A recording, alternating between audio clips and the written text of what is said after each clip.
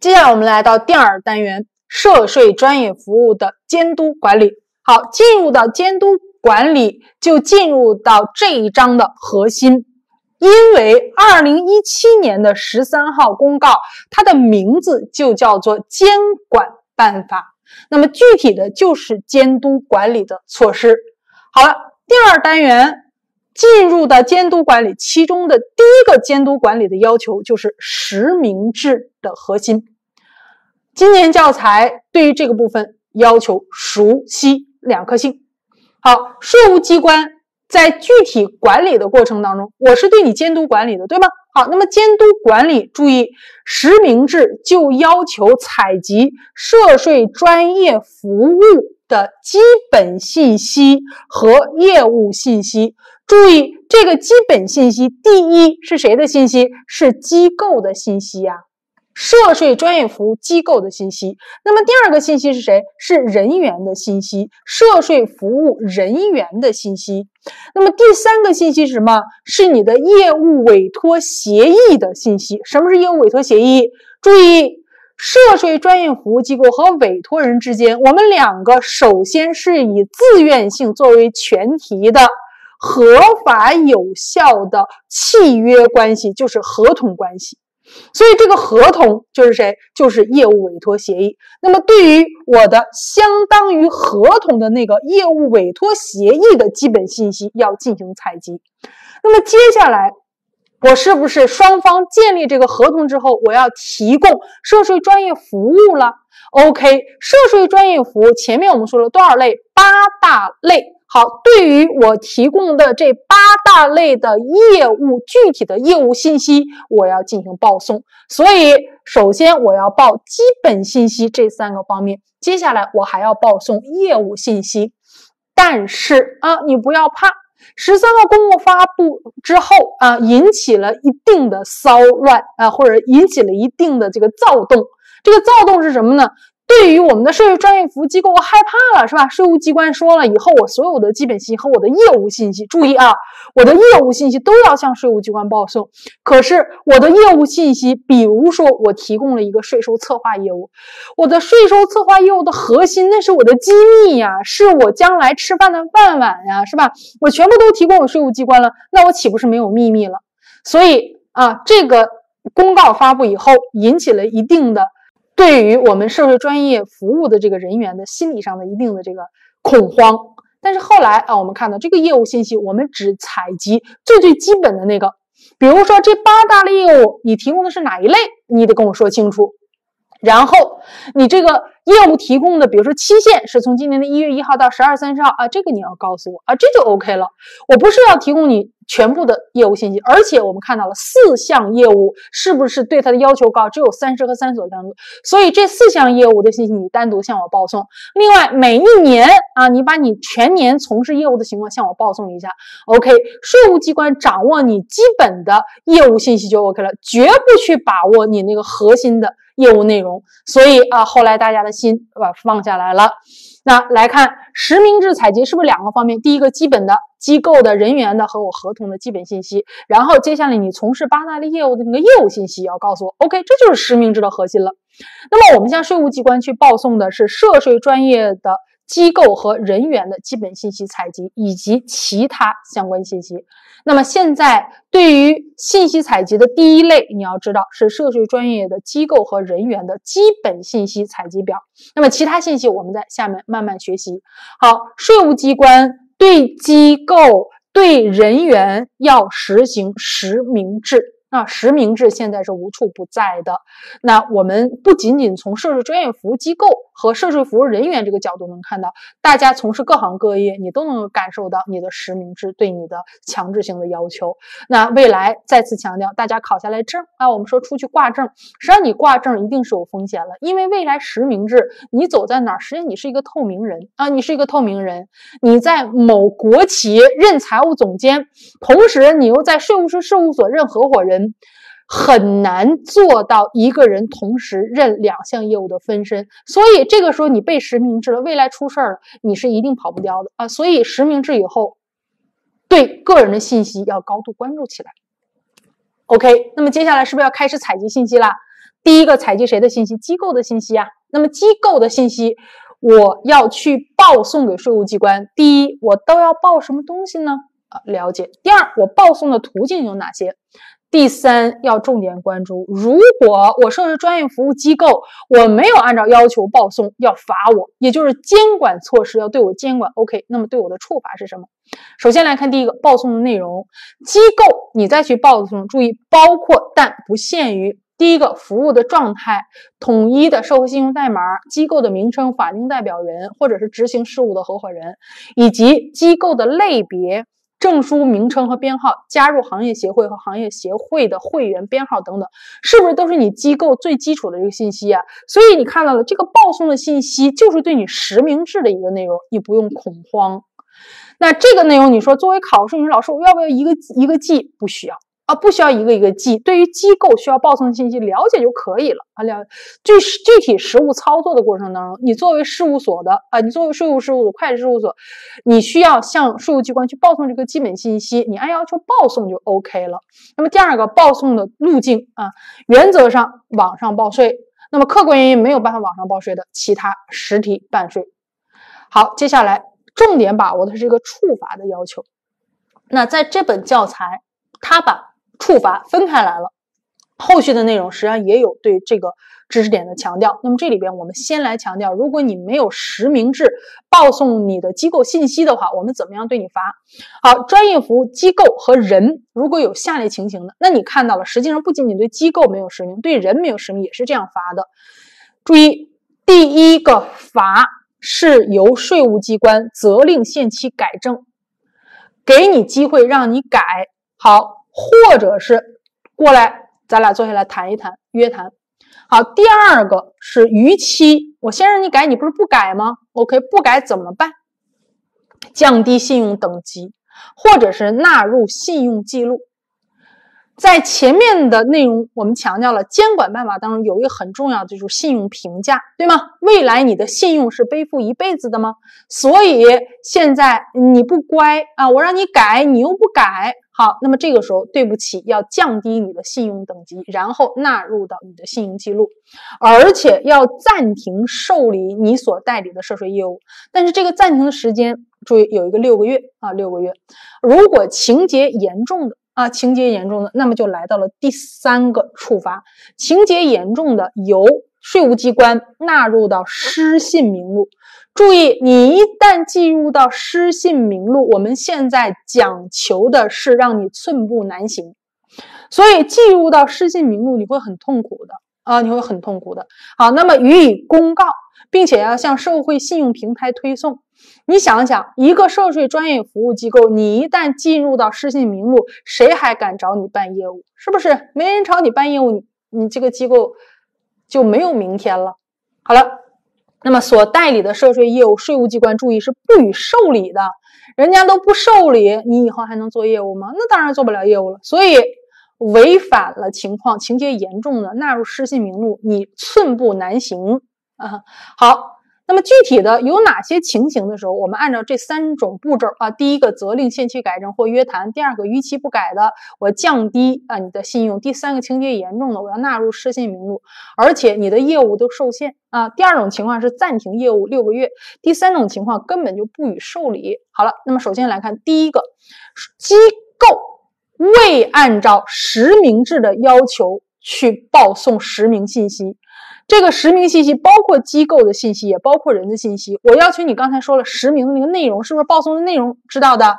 让你实名你不实名，是吧？那么第二个没有按照，注意下面我们还要继续去学习那个业务信息采集的要求吧。对于业务信息采集要求你报送那个相关业务信，你也没来，是不是也是实名制大类当中的一种？好，那么第三，报送了，但是和实际不符的。啊，涉税专业服务的机构和人员，注意，你的机构和人员受到了税务机关的处理，被暂停受理你所代理的涉税业务的时候，机构应当及时告知委托人。现在你都被暂停受理了，你不告诉委托人，人家不知道，人家去找你合作。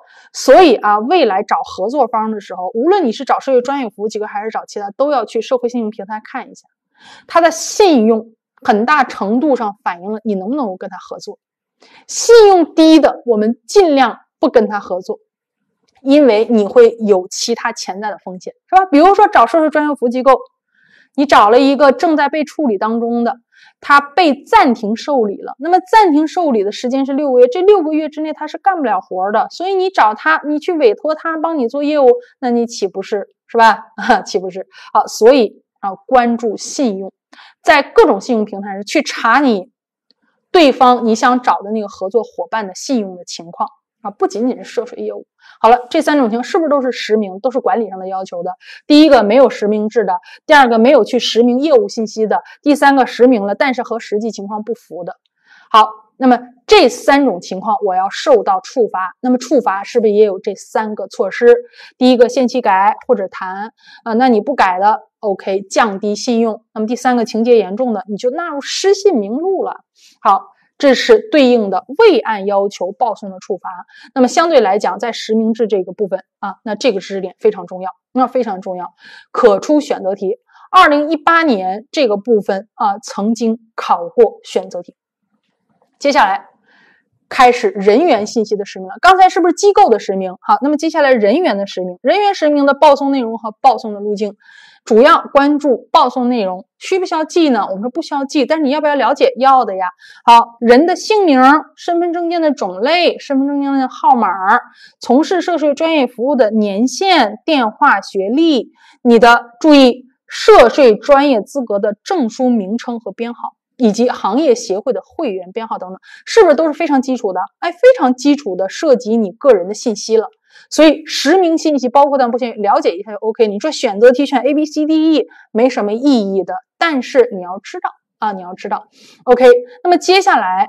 这个报送路径的内容要求重点掌握，因为这里边有具体实现的要求。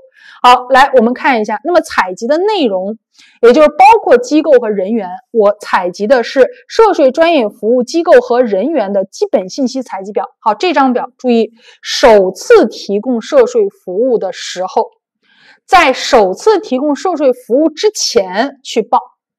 那么如果说你的基本信息发生变更了，比如说你这个人是吧，换名了，那么这个时候注意基本信息发生变更，自变更之日起三十日内报送。如果暂时停止提供涉税专业服务，那么在完成或终止全部涉税服务协议之后去报送。啊，这个要注意，暂时停止提供，那么要完成或终止全部的涉税服务协议之后要去报送。那第四个是恢复提供了，那么恢复之后的首次提供的过程，好，这个时间四个类型的时间要把握。那么需要注意的事项就是，我们涉税专业服务机构，你可以根据自身的业务特点来确定本机构报送从事涉税服务人员基本信息的具体人员范围。也就是你们单位一共四个人，是吧？这四个人谁报谁不报，我们可以根据自身的业务特点来确定具体人员范围。那也就是说，不是说你所里全部的人都是强制报送，是不是这个意思？哎，好，那这个部分了解。这是一个注意事项啊，可能或者说可以出个选择题，对吧？那一个选项就是税务师事务所的全部涉税务人员的信息都要向税务机关实名制，是不是这样啊？我们说不是的，是吧？你的具体人员范围由机构自己来确定。好，接下来是要报送你的服务协议要素。什么是服务协议？是不是那个合同？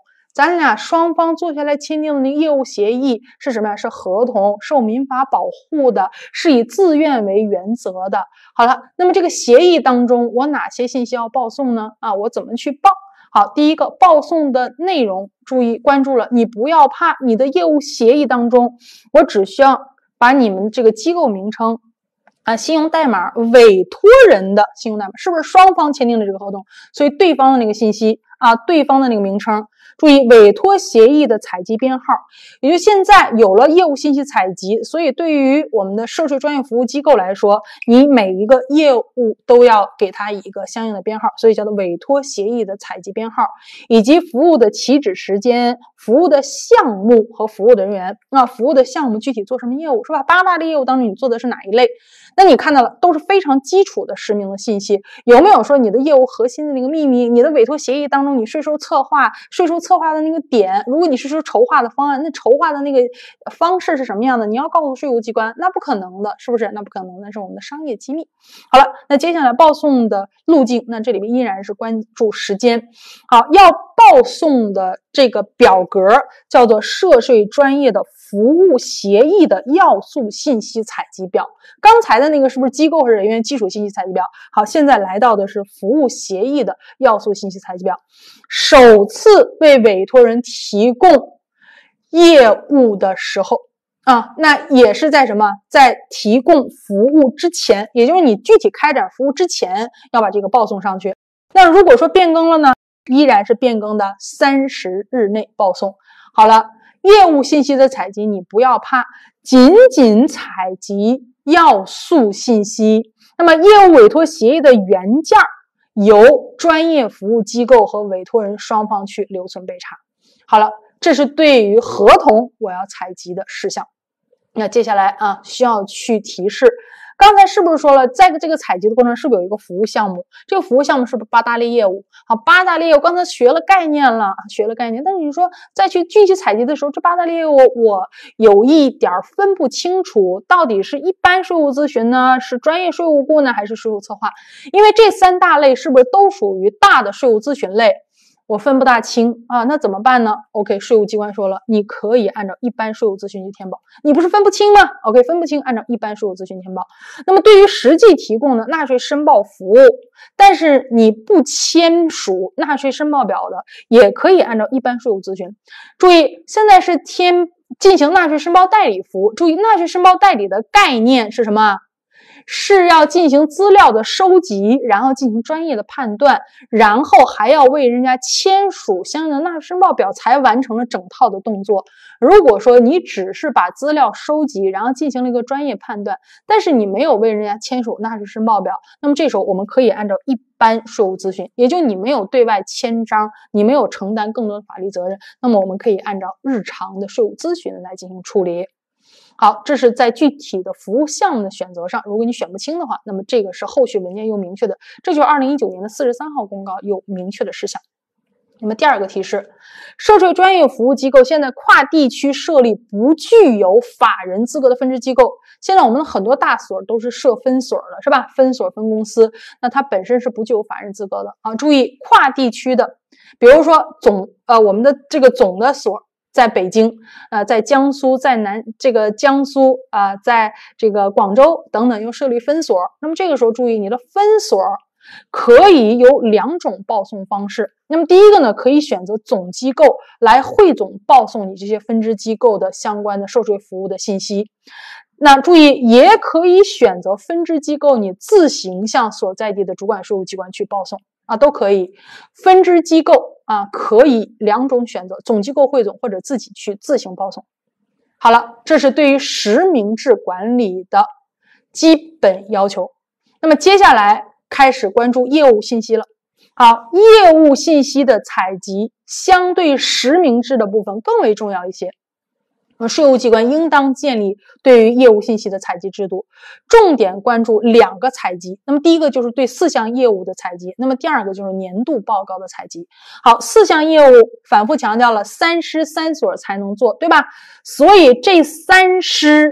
应当在完成这四项业务的，注意这个时间一定是一道重点的单选题。次年三月三十一号，而且这个时间是进行过调整的，是我们最新的政策规定。次年三月三十一号之前，向主管税务机关报送什么叫做专项业务报告的要素信息采集表？这个专项业务是谁？是不是这四个人？OK，这四个人的信息什么时候报？次年三月三十一号，谁才能从事这四项业务？三师和三所，或者我们讲三所和三师，对吧？三所和三师才能做这四项业务，非常重点。次年三月三十一日，一道单选题啊，一道单选题，而且它报送的表叫什么？叫做专项业务报告要素信息采集表。啊，专项业务报告要素信息采集表。那提示实名信息啊，实名信息，也就是对应的，你不是要采集我的专项业务报告的要素信息吗？那么采集哪些呢？代码名称啊，包括委托人的信息、委托人的名称、委托人的协议编号、业务完成的时间。啊，业务完成的时间以及对应的服务项目和业务报告的签署人以及业务的收入金额等等，也就是大家担心的那个事儿，你不用怕了。看来在我的业务报告当中，我怎么做的这个税收筹划的方案是不需要提供给税务机关的。但是谁签字儿的啊要说，然后我的业务收入的金额我要说啊，业务收入的金额我要说出来。好了，这个是业务信息采集当中四项业务报告的实名内容。好，接下来啊，其他业务信息的报送，那么这个了解，那么除了这四项业务之外，涉税专业服务机构可以在完成服务业务之后啊，你向税务机关去报送对应的服务信息。好了，那接下来重点关注的是年度报告的报送时间，每一年的三月三十一号，向主管税务机关要报送你这一年的服务情况，年度涉税专业服务的总体情况表。啊，总体情况表，那么具体的这个实名信息，也就你在年度的涉税专业服务总体情况表都要报送哪些？下面的这些基本情况。那么这个实名信息相对于其他的一些重要那么一些啊，重要那么一些，所以这个部分进行一个详细的了解啊，详细的了解。这里边你注意到了，在年度报送的时候，我们还要报送什么呢？行政处罚情况、行业协会的奖惩情况啊，以及你服务的项目及其户数。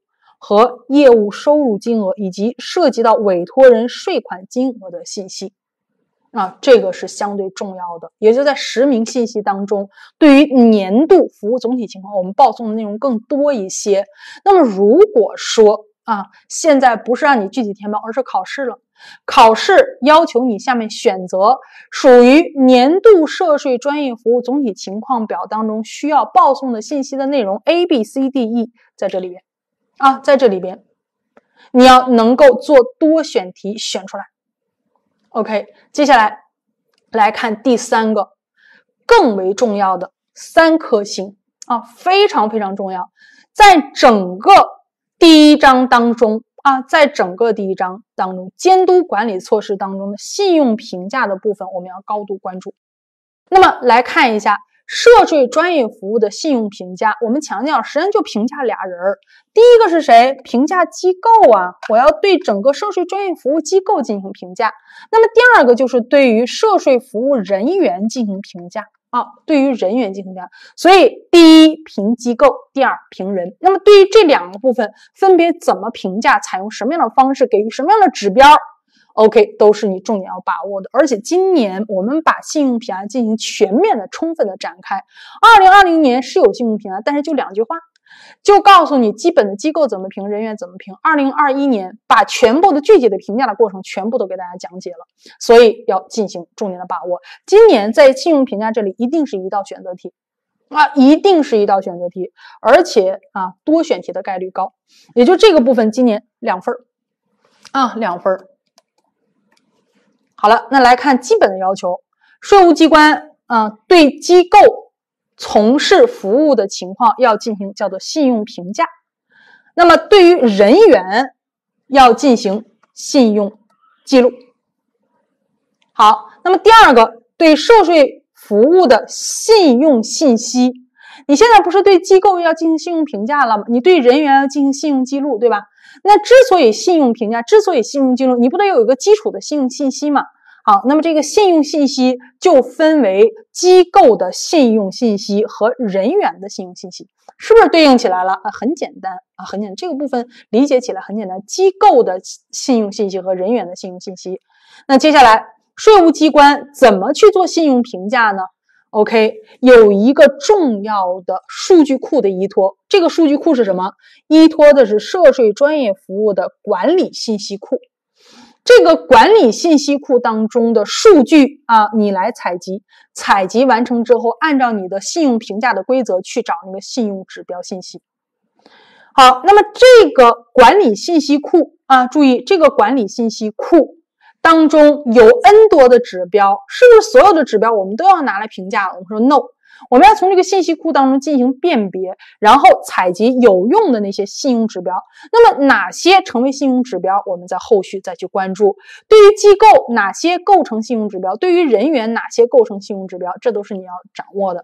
好了，那么在具体的啊处理过程当中，由全国涉税专业服务的信用信息平台，OK，注意这个平台是谁呢？是涉税的信息平台。按照规定啊，对采集的信用信息要进行计算处理。你是不是从这个库里边采集出来这个信息了？然后来到我这个平台，来到我这个平台之后，我这平台有计分规则，我进行计算处理。计算处理之后，注意啊，自动生成机构的信用积分和人员的信用积分。好，那么这个信用积分是不是现在更多的依托于信息技术，依依托于我们的信息平台？好了，在库里边，第一件事儿，去库里边采用采集对应的信息指标，然后来到我对应的涉税信息平台，在平台上我自动进行计算，然后自动生成机构的信用积分和人员的信用积分。有了这个信用积分之后，我再对应的去进行信用评价。好了，这是基本的概况。那么我评价出来之后，我要对这些东西进行一个公告的，因为信用的程度好与坏是对方选择你的一个重要的依托。好了，那么现在我要公告，那公告的时候，第一个是啊，我的机构的信用积分。那么还有一个重要的部分就是涉税服务的失信名录，你已经失信了。对于机构和人员，刚才我们看了，对于失信名录当中的是不予办理的，也就是税务机关对你的涉税业务是不予办理的。所以失信名录你要去关注。你找了一个事务所，结果他是失信名录里的，你还能跟他玩吗？No，不能跟他玩了，因为他做不了业务的。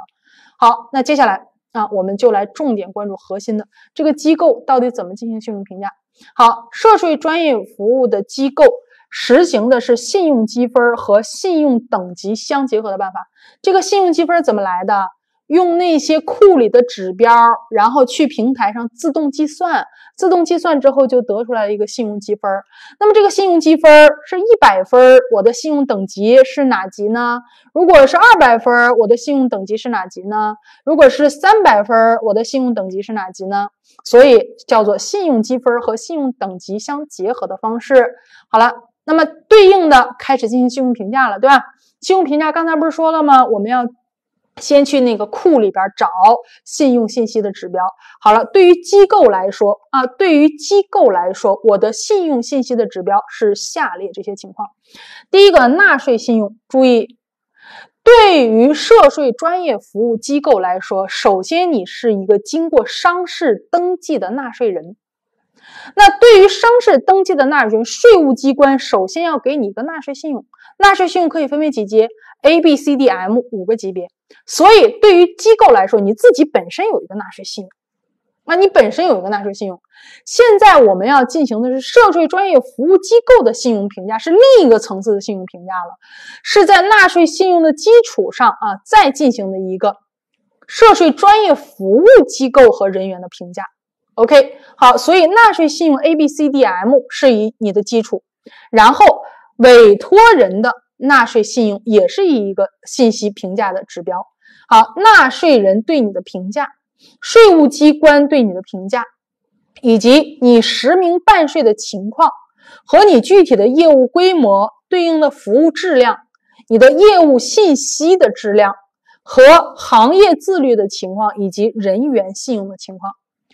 这些构成了你的信用信息指标啊，这些信用信息指标是不是开始去做相应的评价了？OK，那么这个信用信息的采集啊，信用信息的采集主要是在库里采，那还有哪些途径我们要去关注？也就是这个库里的数据是从哪儿来的呢？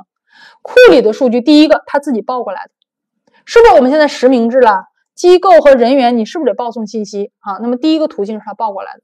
啊，第二个途径，税务机关在征管的过程当中产生的信息和涉税专业服务监管过程产生的，也就税务机关这个途径，我采集到的。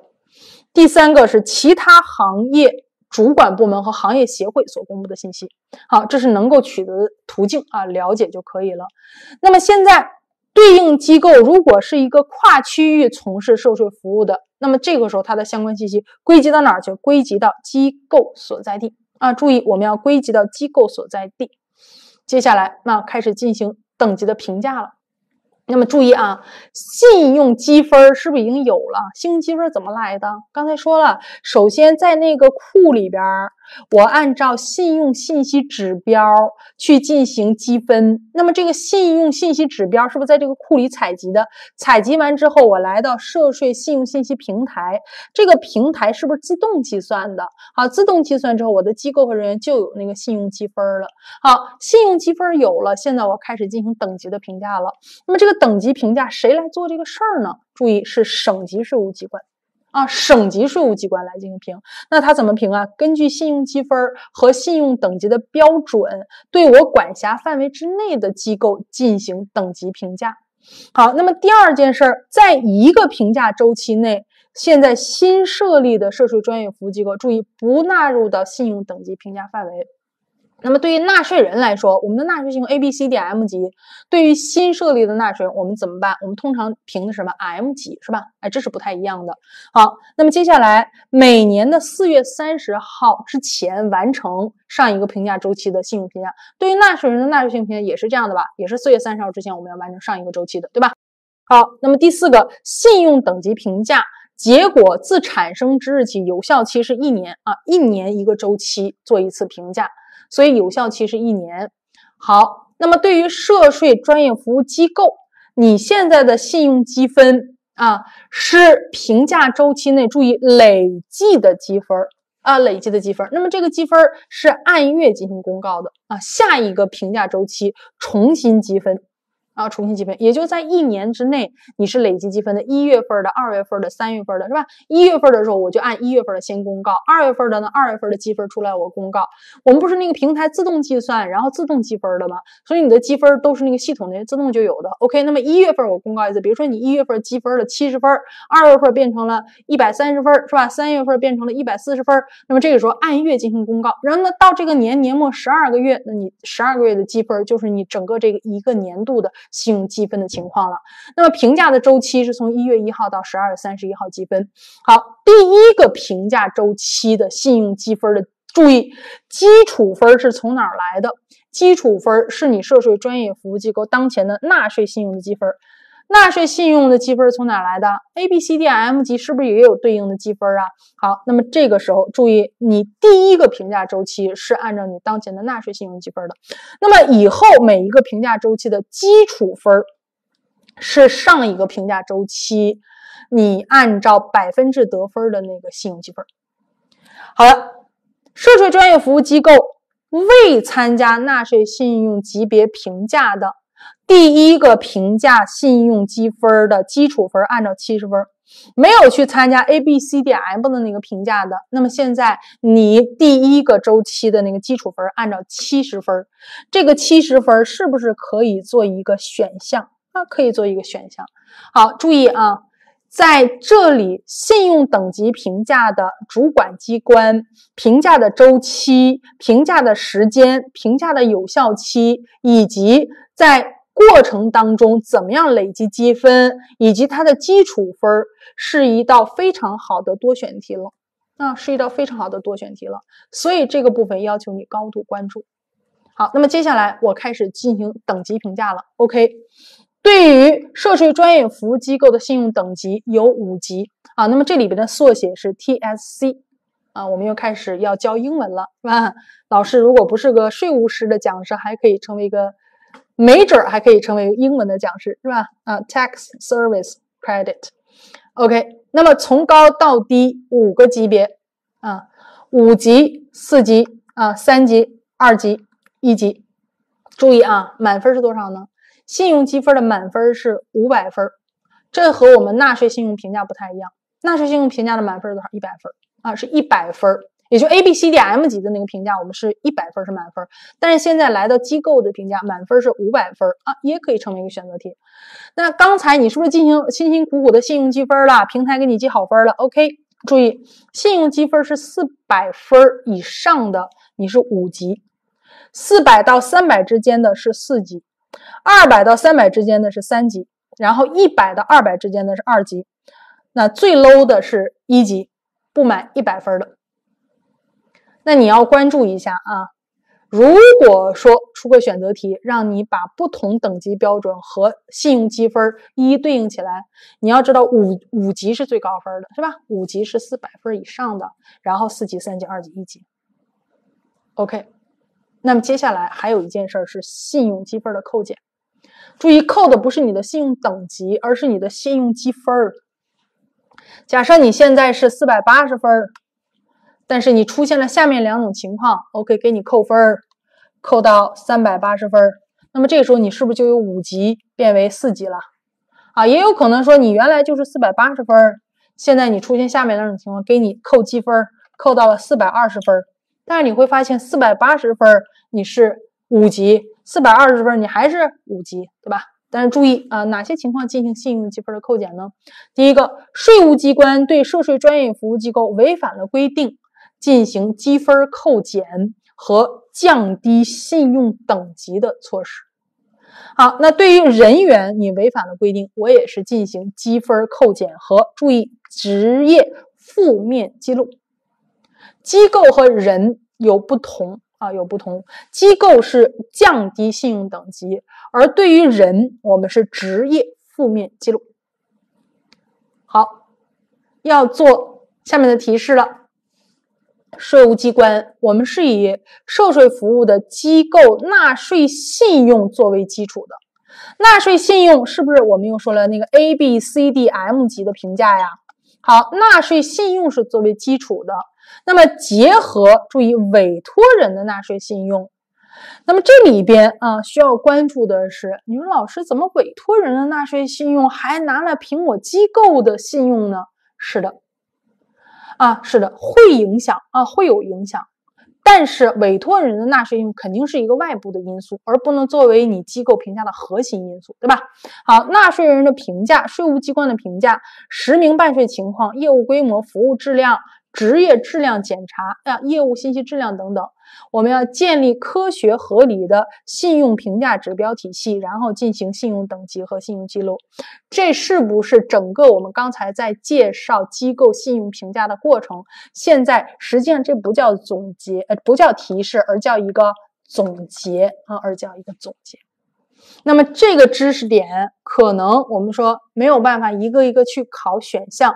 但是作为一个理论层次的东西，大家要知道，而且这里边反复的强调是以纳税信用作为基础的，是吧？我们在信用积分的时候，那个基础分是哪来的？那基础分就是你纳税信用的积分。OK，那么接下来重要啊，纳税信用为基础要进行信用评价了。那么现在。你出现了严重违法违规的情形，要把你纳入到失信名录。刚才在前面我们看到了，如果你不进行实名制的管理的话，是要把你纳入到失信名录。失信名录，你所有的业务是怎么样不受理的？税务机关是不受理的啊。所以注意，属于严重违法违规情形的，你就会被纳入到涉税服务的失信名录。纳入之后，期限是两年，到期自动解除。这个知识点考一个单选题，今年的概率百分之多少？你来说，是吧？同学们、朋友们，你来压这个题。这个知识点今年出单选题的概率超高，也就是在期限这里边啊，而且到期它是自动解除的。A 选项一年，B 选项两年，C 选项三年，D 选项六个月。失信名录的期限是两年，重要的知识点。好，那么税务机关在做失信名录的时候，你会看到，一旦他进入失信名录，他的业务就不被受理了，而且这个期限是两年。这两年之内，他寸步难行。对于一个机构来说，两年之内如果他不做业务，他会死掉的。所以注意，你税务机关一旦认为人家有违反法律法规的情况，而且你想要把它纳入失信名录。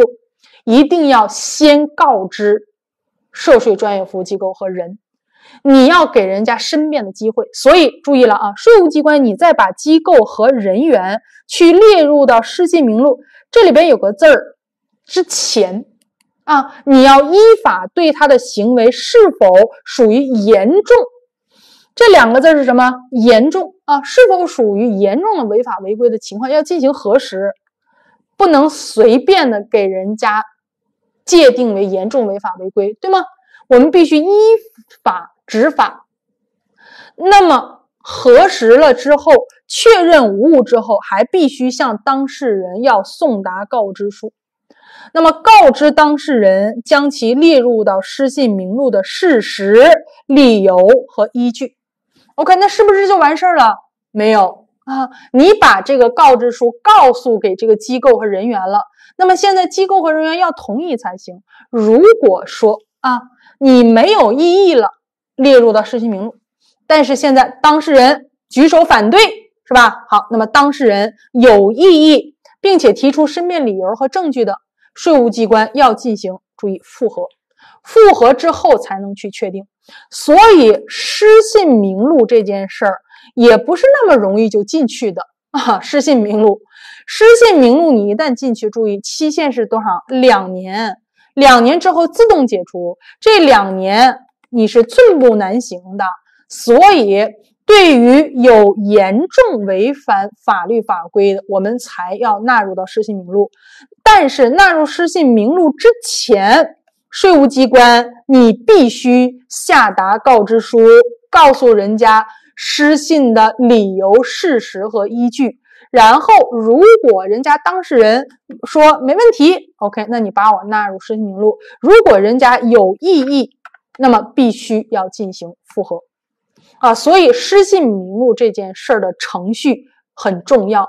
税务机关你必须做出告知书，然后人家接收到没有问题，签字了才能纳入失信名录。那么这个部分，如果说有问题的话，可能会出现税务行政复议的案件，也有可能出现税务行政诉讼的案件，是吧？对于纳入失信名录，我不认可。那么对于人家机构和人员，这个两年不能执业是非常重大的影响的。OK，对于失信这件事儿了解了，而且是考试的重点，对吧？尤其是对于这个流程重点把握，失信名录的部分，百分之九十九点九要考题的。OK，那接下来要进行信用评价的应用了。辛辛苦苦做了五级、四级、三级、二级、一级的评价，评完了之后有什么用？对于纳税人，我们看到了，我们现在评了 A 级、B 级、C 级、D 级啊 M 级。好，评价出来的等级有没有用？当然，而且未来要广泛应用。在税收政策上，我们现在已经实实在在体会到了。最新的增值税增量留抵税额退税啊，增量留抵税额退税，C 级和 D 级的和你玩不？No，C 级的纳税人和 D 级纳税人你是没有资格去参与增量留抵税额退税的，只有 A 和 B 级的是 OK 的。那对于纳税信用是 A 的，我们给予更多的叫做纳税服务。而给予 C 和 D 级，尤其是对于 D 级的纳税人，我们给予更多的是纳税监督。所以 A 级和 D 级，你现在在税收待遇上逐渐逐渐的呈现的是天壤之别。好，那么对于涉税专业服务机构也是一样的。我现在给你信用评价了，是吧？五级、五级、四级、三级、两级，那要进行分类管理。五级 OK，多给服务。一级多给监督，所以这叫做分类服务和监管。好，那么税务机关我们要建立涉税专业服务的信用管理和纳税服务以及税收风险管理的联动机制。对于五级的是给纳税服务，对于一级的是要给纳税风险管理，所以这就叫做信用管理和纳税服务以及税务风险的联动机制。注意，实际上未来税务机关不仅仅是对于涉税专业服务机构要进行信用管理、纳税服务和税收风险的联动机制，对于纳税人也是一样的。对于纳税人，我们也是进行信用管理、纳税服务管理和税收风险的联动管理的机制。好，那么根据涉税专业服务机构和人员的信用状况实施分类服务和监管。好了，那么这个分类的服务和监管，好人儿有好的服务，坏人儿有好的监管。OK，那么具体的。对于五级的，我们到底给予哪些服务呢？那第一个，开通你的绿色服务通道，你所代理的纳税人发票可以按照更高的纳税信用级别去管理。也就现在有一个涉税专业服务机构啊，有一个税务师事务所，我被评为五级了，然后我手里边的委托人啊，委托人可以对我这个委托人的业务进行更高纳税信用级别的管理。好，那么第二个，依托信息化的平台，为涉税专业服务的机构开展批量的纳税申报和信息报送等业务提供便利化。现在涉税专业服务机构，我有一百家啊，我有一百家委托人，然后这一百家委托人，我发现都是小规模或者都是小微企业，都是零申报的。OK，这一百家零申报，你都可以来批量纳税申报。是不是大大的提高了涉税专业服务机构的效率？那么这个时候注意给他提供批量纳税申报以及批量信息报送的内容。好，税务机关在购买涉税专业服务的时候，同等条件下优先考虑什么时候他会购买涉税专业服务？现在八大类业务当中有一个业务叫做纳税情况审查，纳税情况审查是不是有可能由税务机关购买？OK，那么我在购买涉涉税专业服务的时候，你。同等条件优先考虑。好，接下来对于四级和三级的正常管理，那么适当的进行税收政策的辅导，并且按照积分的变化选择性的给予激励。接下来是对于二级和一级的，二级和一级叫服务吗？No，叫管理措施，实施分类管理。对你代理的纳税人的税务事项，注意予以重点关注。你自己就是二级和一级，你还去代理别人，是吧？你自己都没有什么说服力，所以对你代理的纳税人的税务事项，我要重点去关注。你自己是二级和一级，说明你在执业的过程当中不太 OK，你的专业性不太 OK，你所从事的涉税服务业务的风险肯定是高风险的。所以你去代理纳税人的涉税事项的时候，重点关注。那么，朋友们，对于纳税人来说，我现在去找合作伙伴，你找五级的还是找一级的？聪明人要做聪明的选择，是不是？一旦你找上二级和一级的，OK，那么税务机关对于委托人也变成了重点关注。可能这个委托人本身你是一个 A 级的纳税信用的纳税人，结果由于你找错了合作伙伴，你被税务机关盯上了，痛不痛？啊，多么痛的领悟，是不是？好，那么第二个要列为重点监管对象啊，这个说的是机构和人啊，涉税专业服务机构本身你变成了二级和一级，那么你就会成为税务机关的重点监管对象。第三。向其委托方纳税人的主管税务机关推送风险提示。好，现在说的又是一个关联事项。机构和人员啊，你的机构现在是二级和一级，你所代理的那个委托方的纳税人，主管税务机关会接收到风险提示，谁送过来的？那个机构所在的主管税务机关。向委托方纳税人的主管税务机关要进行风险提示的推送，也就是纳税人你都被连带管理了啊，被连带和第一个事项是不是有雷同之处？被风险提示，多么惨痛领悟当中更惨痛的一个领悟。好，那么第四个，涉税专业服务的协议信息的采集，注意必须由委托人和受托人双方到税务机关现场办理。我要眼睛盯着你啊，对你要进行管理。好，分类服务和监管的内容。那接下来对第四个，你已经被纳入到失信名录当中了。第一，要予以公告，并且向社会信用平台推送，告诉全世界你是接不了业务的了。啊，第二。向其委托方的纳税人、委托方纳税人的主管税务机关进行风险提示。那这个啊，风险提示是要告诉委托方，你现在找的合作伙伴他已经纳入失信名录了，所以你要重视起来，你赶紧换涉税专业服务机构，对不对？好，第三，不予受理所代理的涉税业务，你被禁业了，而且禁业的时间是多少？两年，两年之后呢，到期自动解除。OK，分类管理无处不在啊，不仅是对涉税专业服务机构，对纳税人也是。那么接下来该对谁了？该对人员进行信用记录了。好，那么首先这个人员要建立信用积分指标体系。那么这个信用指标体系有注意四大类一级指标啊，有四大类一级指标，然后每一类一级指标当中又具体的区分二级指标。那么我们再给每一个指标赋分儿，然后你这个人从不同的指标当中得分儿，最后就变成你的信用积分了。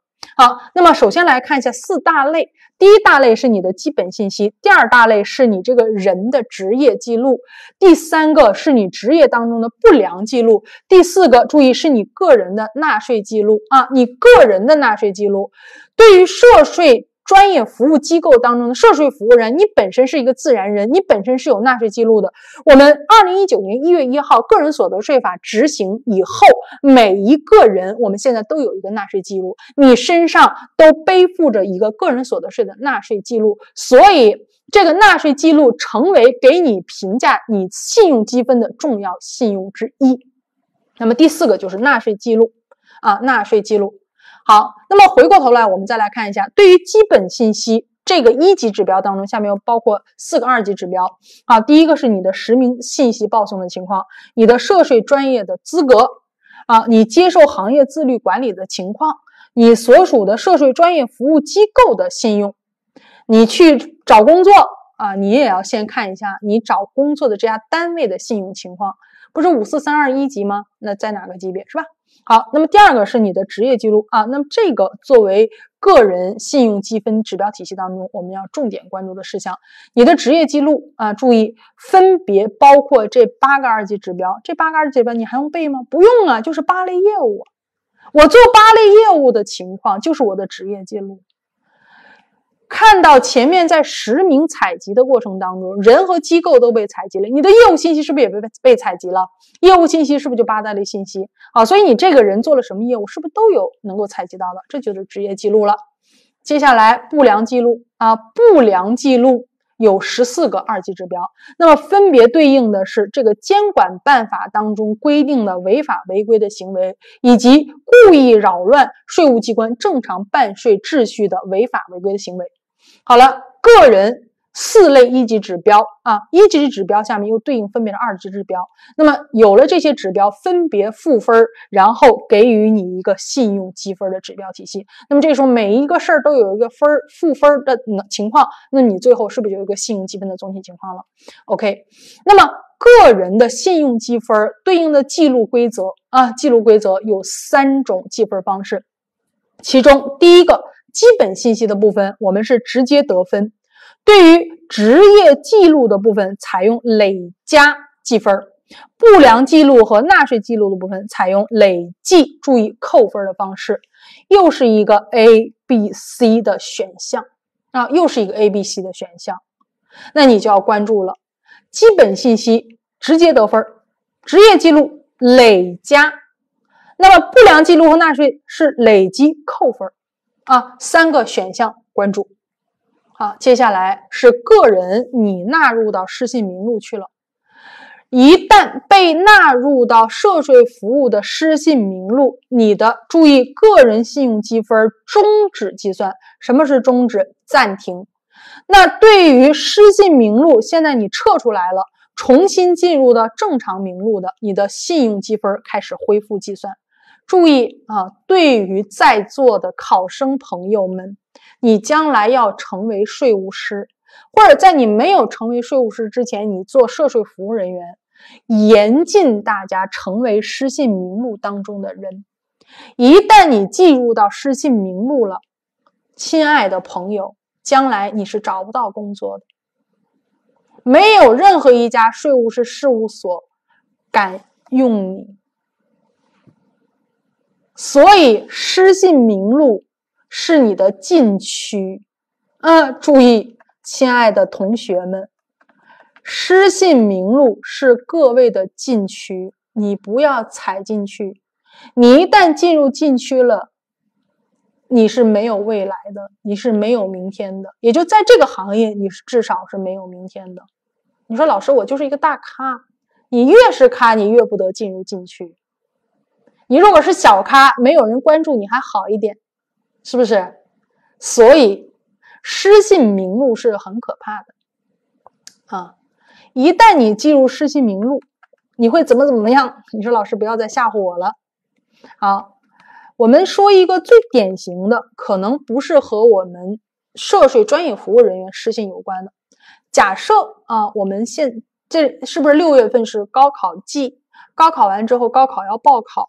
高考报考有提前录取批次，提前录取批次很多是我们最简单讲就是军校。军校如果说你的父亲母亲有违法记录当中的犯罪情形，你的子女提前录取批次基本上是零概率。今年最典型的一个事儿，大家应该感受到了，有个选秀节目啊，有个倒牛奶事件的，倒牛奶事件的那个选秀节目叫什么？大家都是年轻人，你最了解了是吧？那个小孩叫什么？由于他的父母有曾经的某些不良的职业记录，使得他本来应该选秀头牌出位的儿子。被节目组除名，是不是？这就叫做信用。信用的威力未来是无限大的。如果你正好是这个小伙子的粉丝儿，那么你对信用的感受力是更强的。一旦进入到失信名录，对不起啊，禁区没有未来。包括我们那个优秀的小伙子，不管你多帅啊，你唱歌跳舞有多棒。都没有明天了，啊，这个节目今天不用你，未来其他节目也是不可以，或者说根本就不敢，对不对？尽管我们说很多娱乐事项后面是资本的推动，但是资本的推动也是有禁区的。好了，失信名录我们就吓唬到这里，再吓唬我们可能今晚就睡不着了，是吧？好了，信用失信名录。对于涉税专业服务机构和人员，你都要高度关注。为什么呢？因为涉税专业服务机构和人员，你凭借的是专业知识，你很多时候凭借的是你的人品，也就是你这个专业知识，如果一旦被失信了，那你未来这个知识就贬值了啊！而且贬值的速度是直线下降。好了，那么接下来。来看一下，你说是不是这个信用就永无翻身之日了呢？不是的啊，是有复核机制的。OK，那么怎么去复核？涉税服务的机构和人员，你对这个信用积分、信用等级以及职业的负面记录，你你认为有问题？OK，你说我不是这样做的呀，对吧？那有异议，注意可以在什么时间内呢？是在信用记录产生或者结果确定之后的十二个月之内去向税务机关申请复核。OK，十二个月又是一个时间的要求。要记下来。那么，税务机关按照包容审慎的原则，在三十个工作日内完成复核工作，然后做出复核的结论，并且能够提供查询服务。OK，接下来是机构和人员对于我们。你将你纳入失信名录是不是有异议？刚才我们说了，失信名录是不是直接进去的？不是的，我们必须要下发告知书，然后人家没有异议的才能够。如果人家有异议的，是不是你要提出复核？OK，在收到人家给你的这个告知书，也就税务事项通知书的十个工作日内，你去提出申辩的理由，向税务机关去复核。那么我们要秉持包容审慎，十个工作日内完成复核，然后给予结论，给予查询。对应的全部的涉税专业服务的信用评价的内容，我们就讲解完了。讲解完之后，要对考试的内容做重点把握，同时在职业的过程当中，怎么样去关注你自身的信用，是不是就有了底儿了？哎，你心里有底儿了，你做人是有底线的，你做税务师是有底线的，你未来做业务是有底线的，因为你有了底线，所以税务机关更加相信我们涉税专业服务机构所做出来的报告。你因为你是有底线的，所以纳税人更放心去委托你做业务。所以，我们再回到前面的涉税专业服务机构的地位和作用的时候，你就真正的成为了纳税人和税务机关之间的那个桥梁和纽带，而且有利于、有利于、有利于 A、B、C、D 那个地位和作用，你也能够深入了解了。OK，那接下来我们来看公告和推送的内容，一颗星了解就可以了。好，公告和推送的主体啊，关注是省税务机关通过一系列的渠道去公告。那么公告涉税服务的相关信息，那么税务机关的纳服，嗯，纳税服务部门，也就是纳服部啊，负责向税务机关的内部自己啊去推送相关的涉税服务信息。接下来，公告的内容是什么？公告的渠道是什么？渠道实际上我们知道了，是吧？渠道包括这个网站、电子税务局、办税服务场所等等。好，那么具体的公告的内容都有什么呀？刚才说了，那个监管的内容都有啥？监管的内容是不是有实名制管理？好，那么这个机构的名称和信用的状况都是我要去公告出去的。也就现在，我作为委托方，我想去查一下，我想去委托的这个机构的它的信用状况，我是不是能够查到？我去哪儿查？我去电子税务局，我去税务机关的网站，是不是能够查到？所以你要先要把它公告出来，你公告出来，我才能查得到嘛。好，那么对应的税务师事务所现在是不是要行政登记？那么没有行政登记的，我要公告，你都不靠谱嘛，是吧？你都没有行政登记，你资格都不行。好，那涉税专业服务机构失信名录，失信名录它不能承接业务啊，所以要公告。好，人员的失信名录要公告。接下来公告的渠道。是不是这些地儿啊？网站、电子税务局、办税服务厅啊？每月十日之前，是不是又有个时间啊？呃，在整个税务师考试的内容有很多很多时间的要求啊，时间的要求啊。呃，如果说每一个都让你死记硬背，我觉得对大家来说也比较难。但是学到每一个知识点的时候去了解，那重点的内容我会要求你背，那么不太重点的要求你了解一下就可以了啊。每个月十日前对公告的内容进行动态的调整。好，接下来推送啊，刚才是公告，现在是推送。那么推送的内容和渠道啊，推送的内容实际上都是相同的啊，推送的内容都是相同的。你的信用状况啊，对应的未纳入实名的信用状况，然后失信名录的状况。那还有就是人员的失信名录，以及注意这个是不太一样的吧？推送的这个内容包括相应服务的风险信息推送的内容。那么渠道呢？注意啊，在推送的过程当中，是税务机关运用自己的金税三期核心征管系统作为基础，那么以网上办税系统为支撑的信息化平台进行信息的推送。注意，公告叫“公”字儿是向全社会公告。而推送，注意是税务机关点对点的向纳税人，也就是涉税专业服务机构去推送啊。我告诉你你对应的情况，所以是以金税三期为核心征管系统进行信息推送的。接下来第五个事项是违法违规责任。好，这个违法违规责任要关注第一个部分。我们要对违反涉税专业服务的管理制度要进行惩罚的。那么在惩罚的过程当中，也要进行一个分类的处理。第一个，我要进行约谈方式。那么约谈方式，在约谈的时候要关注一下流程。那你说，老师，这个关注这个流程会考什么题？我觉得。主要是关注一下这个两名以上就可以了，而这个又是一个常识性的内容，所以啊这个部分了解就可以了。你要参与约谈可以，约谈的时候你先得告诉人家啊你要去约谈了，所以向人家发送一个事项通知书，告诉人家约谈的时间、地点、事由。那么到达约谈场所之后，必须是两个以上进行约谈，约谈的过程注意必须做好记录啊，同时啊有按照相应的情况也可以做一些音像的记录。这是税务机关，实际上是你执法的一个过程。